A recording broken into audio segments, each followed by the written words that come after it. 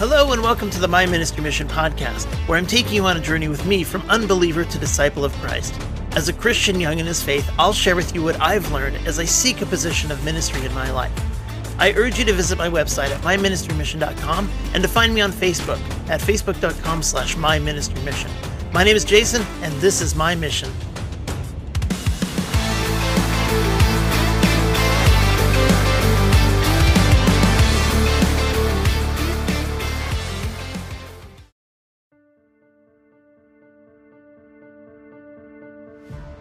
Thank you for joining me for another episode of My Ministry Mission.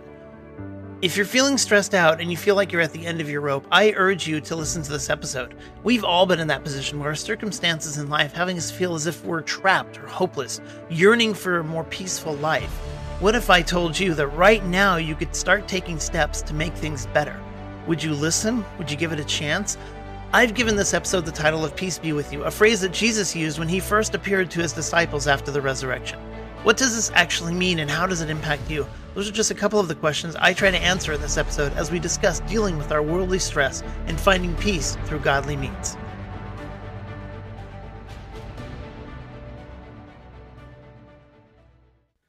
We live in a turbulent world, and stress is a big part of our lives. Not that you need any proof, but check out these statistics 55% of Americans are stressed out during the day. Globally, across 143 countries, 35% of people are reporting they're stressed out. One in five college students report thoughts of suicide. Upwards of 63% of U.S. workers are ready to quit their jobs to avoid work related stress. 63%. 48% of the people in the United States report having sleep issues caused by stress, and millennials are reporting an average stress level of 5.7 on a scale of 1 to 10 on top of our daily stresses during the holiday seasons when we're supposed to be focusing on gratitude for our blessings, family, and celebrating the birth of Christ, 25% of the people report feeling extreme stress. I don't know about you, but reading these statistics on stress in this country and across the world, it hurts my heart. I, I can empathize with many of these statistics. When I think of the phrase, peace be with you, it calms my soul and brings me peace. It really does. I wish I could live there all the time, but but we do have jobs, we have families, friends, obligations, schools, housework, bills. The list goes on and on and on. But maybe we can visit peace with the help of Christ. Maybe we can strive to live in a life where peace is not something we have to take PTO to find. I want to go over the depths of the term peace be with you and see how it's used in the Bible so that we can reflect on that a bit. And then let's talk about what we can do to leverage that peace to quiet our world and bring stress down a few notches. Once you take a step back, you'll probably realize that things may not be as bad as you thought. And with God's help, you can live a joyful life amidst the chaos that surrounds you all the time. So, of course, the first question is where did you find peace be with you? Well, as Christians, we are all familiar with the crucifixion, death, and burial of Jesus. And then, of course, his resurrection in the empty tomb. I'm going to wait until we get closer to Easter to go into that in more detail in a separate episode. So, I'm going to skip ahead to John 2019 when Jesus appeared to 10 of his disciples after his resurrection. Thomas wasn't there, so it was only 10 of them. On the evening of that first day of the week, when the disciples were together, with the doors locked for fear of the Jewish leaders, Jesus came and stood among them and said, Peace be with you. So here are 10 of the disciples, all huddled together with the doors shut and locked in fear of what the Jewish leaders are going to do to them. I mean, they just brutally flogged and crucified Christ. But Jesus is greater than doors. I mean, you can't shut and lock him out forever. He stood amongst them and said, Peace be with you. That was the first words he said to them Peace be with you. So, this phrase, peace be with you, consisted of two Greek words irene for peace, and su means with you. So, the first word, irene, really represents peace, like a security, safety, prosperity, even tranquility. And in terms of Christianity, it's the tranquility that a soul gets when it's assured of its salvation through Christ. It means we fear nothing from God and have complete contentment with our earthly lives, exactly where we are. It seems to me Jesus was telling these disciples, You have nothing to fear, for I have brought you salvation. So we'll continue on through John 20, verses 20 through 22.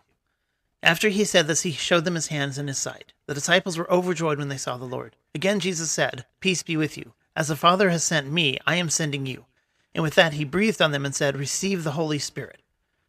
So Jesus assured them he was the real deal by showing them the wounds of his crucifixion, and then he granted them the blessing of peace once again. Jesus gave his disciples a mission to continue his work in this world, the mission that our Heavenly Father started with Jesus.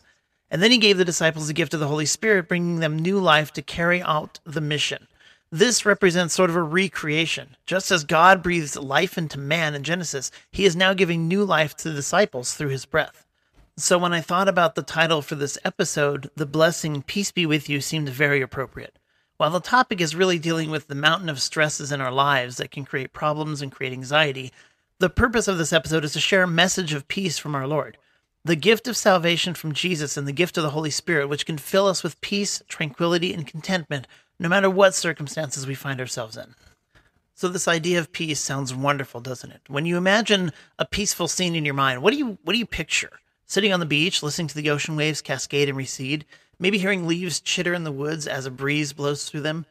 Perhaps peaceful as taking a long horseback ride on a ranch in Montana or skiing in Telluride.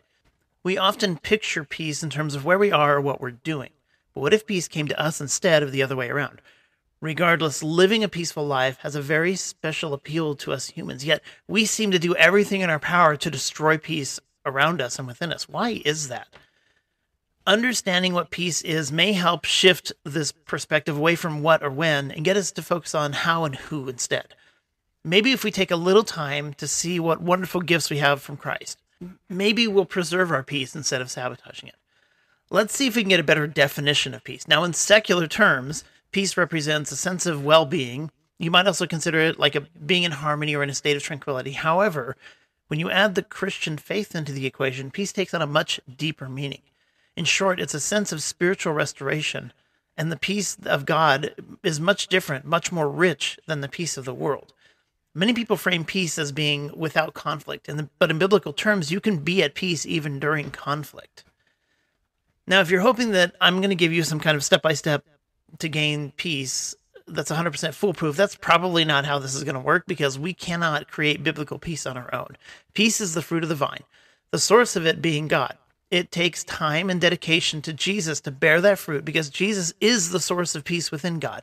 He is the source of peace with others, and He is the source of peace within ourselves. Now, the Old Testament anticipates peace, and the New Testament confirms that God's peace would be mediated through the Messiah. So, what do I mean by this? Let's look at Isaiah 9, verses 6 and 7.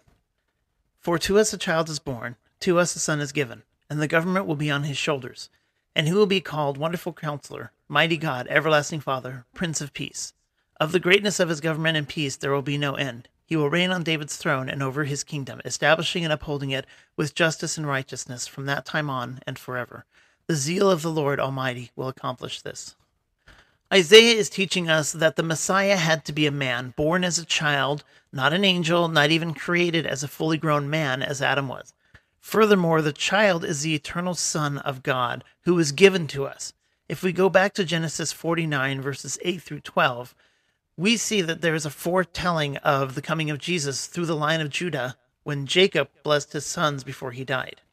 Judah, your brothers will praise you, your hand will be on the neck of your enemies, your father's sons will bow down to you. You are a lion's club, Judah. You return from the prey, my son. Like a lion, he crouches and lies down, like a lioness. Who dares to rouse him? The scepter will not depart from Judah, nor the ruler's staff from between his feet, until he to whom it belongs shall come, and the obedience of the nations shall be his. He will tether his donkey to a vine, his colt to the choicest branch. He will wash his garments in wine, his robes in the blood of grapes.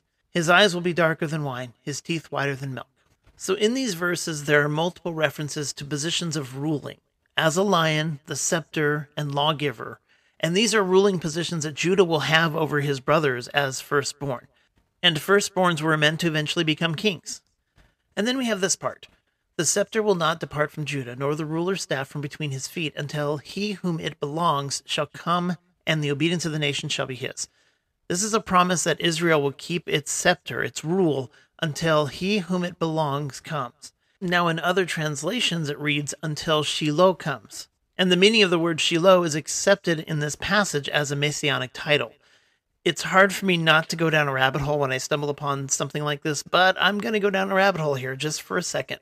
Shiloh refers to is referred to as a place of rest in Judges 21:19.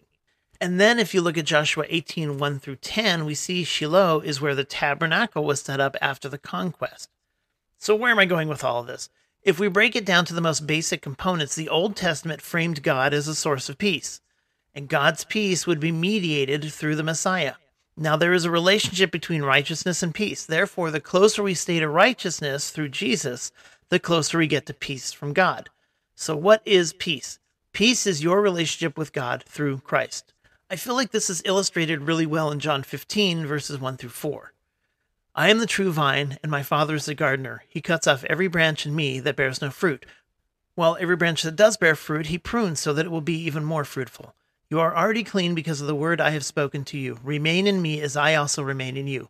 No branch can bear fruit by itself, it must remain in the vine. Neither can you bear fruit unless you remain in me. The fruit is that sense of peace that only comes from God. You want more proof? Look at Isaiah 32 17. The fruit of the righteousness will be peace. Its effects will be quietness and confidence forever. Now, here's the catch, and there's always a catch, right? Building a strong relationship with Christ takes time, consistency, and dedication, just as growing a vine does, which means you won't immediately gain peace from your efforts. I know people who have gone off excited to bear their fruits and they give up because it's not happening fast enough. If you feel like giving up, that's the time you really need to lean into God through prayer, reading your Bible, join a small group. Just keep in Christ, keep remaining in Christ. The enemy wants you to get frustrated and give up. Don't give him what he wants. All right, at this point in the episode, you're probably thinking, You've told me a lot of great stuff, Jason, but you haven't told me what I came here for, which is how do we as Christians deal with stress and find some peace while we're waiting for that vine thing to happen? To answer this, I want to point you to Philippians 4, verses 4 through 7. Rejoice in the Lord always. I say it again, rejoice. Let your gentleness be evident to all. The Lord is near. Do not be anxious about anything, but in every situation, by prayer and petition, with thanksgiving, present your request to God, and the peace of God, which transcends all understanding, will guard your heart and your minds in Christ Jesus. I really like how this starts by reminding us to rejoice two times. We all know there are plenty of stresses and concerns in this world, but there's also reasons to rejoice in what God has already done for us and what God continues to do. How you start your day will set the mood for the rest of your day. Now, I used to wake up and turn on the news and I realized that it was tainting my view of the day with all the politics, the conflict, the bad news, the robberies, the murders, everything that was going on in the world that they want to focus on is bad. So I stopped. Instead, I begin my day with prayer, maybe some worship music, or I turn on a sermon or something and listen to some someone else uh, rejoice in God. Start your day with worship and rejoice. Don't start it with bad news. The verse goes on to say, Let your gentleness be evident to all. But in other versions, it actually says, Let your reasonableness be evident to all. Either way, we're being taught to be reasonable and be willing to coexist with others, and this will help remove some of that chaos and anxiety in the world. Then it goes on to direct us not to be anxious about anything because anxiety and peace can't exist together. They just can't. I know it sounds easier than it is, but we can take a lesson from 1 Peter 5 7. Cast all your anxiety on him because he cares for you. God loves you and He can handle your anxieties. There is no sense in worrying or stressing over situations and circumstances we have no control over. Practice taking those problems and handing them over to God.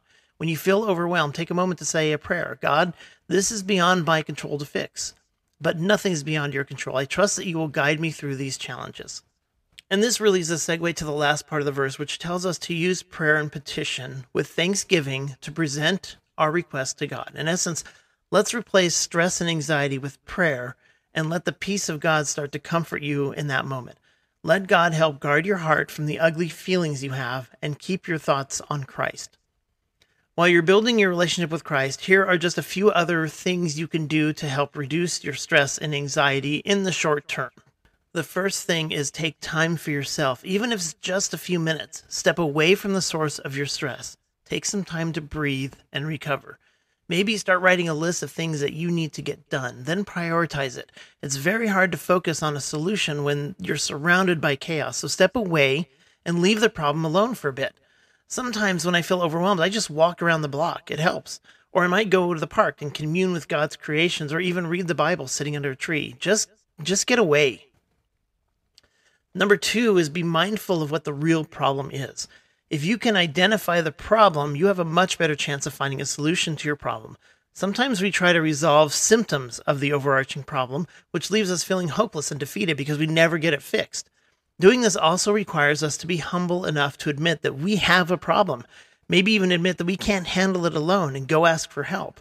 Don't beat yourself up because you can't fix something in your life, especially if it's a significant problem. Number three is to take some time to give thanks and praise. I mentioned it briefly a moment ago, but start counting your blessings.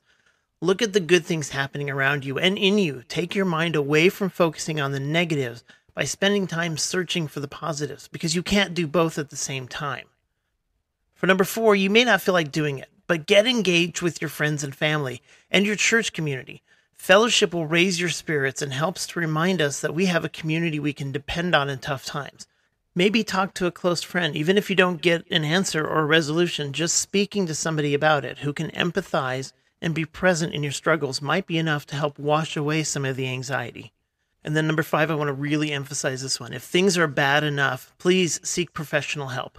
Find a good Christian counselor or talk to your pastor about setting up some counseling sessions. And if you ever, ever feel like harming yourself or others, then absolutely seek professional medical help immediately. Don't wait, just go get it. God gave psychologists and psychiatrists gifts. Don't be afraid to seek help when you need it.